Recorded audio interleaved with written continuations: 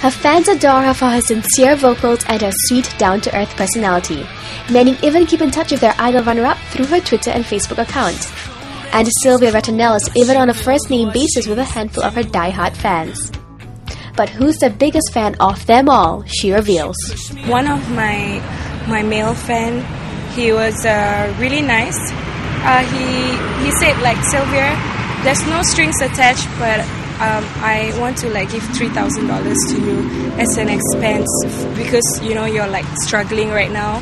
Uh, so I was like caught off guard when I saw that. I'm like, okay, but that's okay.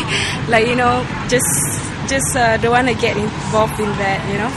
So it was really sweet, but I just felt like you know it's not really proper. Right, you felt that that was an indecent proposal. Uh, I wouldn't say indecent because you said it was uh, no strings attached. It was something that was coming from his heart, and he really wanted to like just give me the money so I will have one less thing to worry about. He's a really nice fan, uh, but I just it's a fan, it's not a friend. It's not someone that you actually knew. Uh, it's not someone I actually knew, but okay. over the times, I'm actually quite close to my fans, so um, I get to know them um, by like on more of like you know I do know their names I there one there's one time and we have a chalet and I actually went cycling with them. Yeah, and yeah, we had like a barbecue, so I get to meet them personally to like just thank them.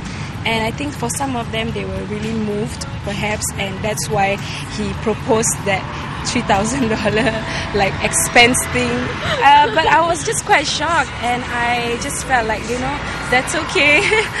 I, I will be fine on my own Sylvia may be remembered as the idol runner-up with a soft and sweet nature, but with her determination and powerful vocals, we're sure that we'll be seeing more of this talented beauty in the future.